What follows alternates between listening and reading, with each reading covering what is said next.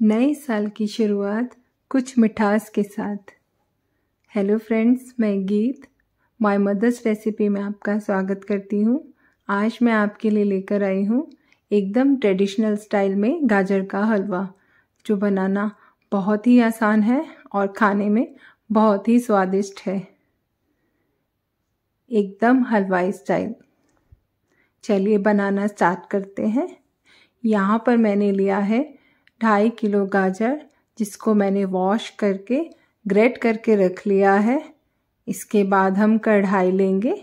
कढ़ाई में दो टेबलस्पून देसी घी ऐड करेंगे। देसी घी को थोड़ा सा मेल्ट होने देंगे। देखिए फ्रेंड्स यहाँ पे देसी घी बिल्कुल मेल्ट हो गया है। अब हम धीरे धीरे करके अपनी ग्रेटेड गाजर को यहाँ पर ऐड कर देंगे। यहाँ पर मैंने पूरी ग्रेटेड गाजर ऐड कर दी है कढ़ाई में। आपको लग रहा होगा ये पूरा फुल हो गया है ऊपर तक, पर जैसे जैसे ये थोड़ा सा पछता जाएगा, इसकी क्वांटिटी अपने आप कम होती जाएगी। अभी देखिएगा आप। ये थोड़ा सा बस आपको धीरे से इसको चलाते हुए, थोड़ा सा स्टर करते हुए इसको नीचे से ऊपर की तरफ़ लाना है, जिससे हमारी गाजर पूरी तरह से पक जाए। अभी देखिए फ्रेंड्स, यहाँ पर मोस्टली गाजर पक चुकी है। ऐसे ही हमें धीरे धीरे से चलाते हुए गाजर को अच्छे से पकाना है। यहाँ पर देखिए फ्रेंड्स इस स्टेज पे गाजर पूरी तरह से पक गई है। अब यहाँ पर हम ये चेक करेंगे कि गाजर में एक्सेस वाटर तो नहीं है। अगर थोड़ा सा भी वाटर हमें दिखता है, लगता है तो हम गाजर को थोड़ा सा साइडों में स्प्रेड कर देंगे, जिससे हमें पता चले कि हमारे गाजर में पानी है या नहीं है। ये देखिए फ्रेंड्स मैंने थोड़ा सा गाजर को साइडों में स्प्रेड कर दिया है। तो हमें बीच में क्वांटिटी पता चल रही है पानी की कि पानी कितना है अभी गाजर में। तो हमें इसी एक्सेस पानी को सुखाना है अभी। ये देखिए, यहाँ पे मैंने पूरी हाई फ्लेम करके पानी को पूरी तरह से सुखा लिया है। अब गाजर बिल्कुल ड्राई हो गई है। अब इसमें बिल्कुल भी एक्सेस वाटर नहीं है। यहाँ पर मैंने डेढ़ कटोरी खांड का यूज़ किया है। आप अपने टेस्ट के अकॉर्डिंग मीठा कम या ज़्यादा कर सकते हैं पर डेढ़ कटोरी खांड में एकदम परफेक्ट मीठा मिल जाता है। अब देखिए हम इसको अच्छे से मिक्स कर लेंगे। खांड मिक्स करने के बाद आप देखेंगे हमारी गाजर में थोड़ा सा पानी शो होगा, उसको हमें थोड़ी सी देर तक हाई फ्लेम पे थोड़ी देर तक सुखाना होगा।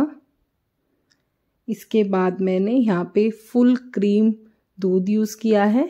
ये दूध मैंने पहले से ही बॉईल करके रख लिया था, जिसकी वजह से उसमें एक मलाई सी आ गई थी। यहाँ पर हमने डेढ़ ग्लास दूध यूज़ किया है। दूध को अच्छे से गाजर में मिक्स कर लेंगे। और आप देखेंगे हमें तब तक पकाना है। जब तक इस दूध पूरा सा, पूरा तरह से गाजर में एब्जॉर्ब ना हो जाए। पर इसको चलाते रहिएगा फ्रेंड्स अगर आप नहीं चलाएँगे या चलाना बंद कर देंगे तो ये नीचे से लगना शुरू हो जाएगा। आप नीचे से चिपकना शुरू हो जाएगा कढ़ाई में। इसीलिए कंटिन्यू इसको चलाते रहें।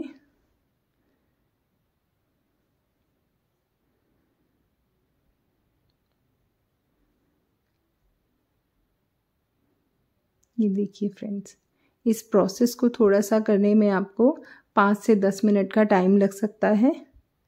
जब हमारा मिल्क पूरी तरह से गाजर में मिक्स हो जाएगा, आपको ऐसा टेक्सचर दिखाई देगा, ऐसा टेक्सचर आने पर आपको लगेगा कि हाँ हमारा मिल्क पूरी तरह से ऐड हो गया है। अब यहाँ पर मैंने 250 ग्राम खोया ऐड कर लिया है, जिसको मैंने ग्रेट करके रख लिया था। अब यहाँ पे थोड़ी सी क्वांटिटी मैं अभी ऐड कर रही हूँ थोड़ी सी स्प्रे को मिक्स करने के बाद ऐड करूँगी। ये देखिए फ्रेंड्स बिल्कुल गाजर में बिल्कुल पानी नहीं है, ना आपको मिल्क लगेगा कि मिल्क हमने एक्सेस मिल्क है। ये देखिए, ये कंप्लीट मिक्स कर लिया है मैंने खोया, और यहाँ पे जो हमने थोड़ा सा खोया बचा के रखा था, वो वाला खोया भी ऐड कर लेंगे।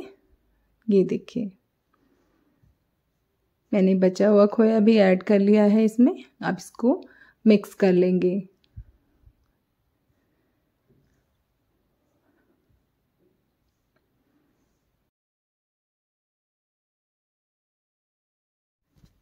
मिक्स करने के बाद one fourth teaspoon cardamom powder लिया है, इलायची का पाउडर इसको भी हम इसमें ऐड कर देंगे। और एक बाउल मैंने ड्राई फ्रूट्स लिए हैं। इस ड्राई फ्रूट्स में मैंने पिस्ता, काजू और भीगे हुए बादाम काट के डाल दिए हैं। और यहाँ पे अच्छे से मिक्स कर लेंगे एक। बादाम को आप भिगो के भी डाल सकते हैं वैसे भी डाल सकते हैं, आपकी चॉइस है। एक बार ज़रूर बना के देखिएगा फ्रेंड्स डेफिनेटली आपको पसंद आएगा। हलवाइयों के एकदम स्टाइल से है ये गाजर का हलवा। एकदम ट्रेडिशनल स्टाइल से, एकदम ऑथेंटिक स्टाइल से। Thank you for watching Radhe Radhe.